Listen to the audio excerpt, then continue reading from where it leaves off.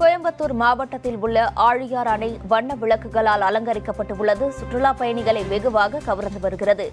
கோயம்புத்தூர் மாவட்டம் பொள்ளாச்சி அருகே உள்ள ஆழியார் அணை முன்னாள் முதலமைச்சர் காமராஜ் அவர்களால் ஆயிரத்தி தொள்ளாயிரத்து அறுபத்தி இரண்டாம் ஆண்டு திறக்கப்பட்டது.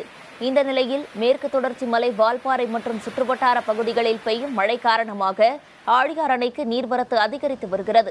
நூற்று இருபது அடி கொண்ட அணையில் தற்போது நூற்று பதினேழு அடி வரை நிரம்பி உள்ளதால் எட்டு மதகுகள் வழியாக நீர் திறந்து விடப்படுகிறது. பரம்பிக்குளம் ஆழியார் பாசன தினத்தை முன்னிட்டு ஆழியார் அணை முழுவதும் மின் விளக்குகளால் அலங்கரிக்கப்பட்டு உள்ளது. சுற்றுலா பயணிகளை கவரும் விதமாக அமைந்துள்ளது.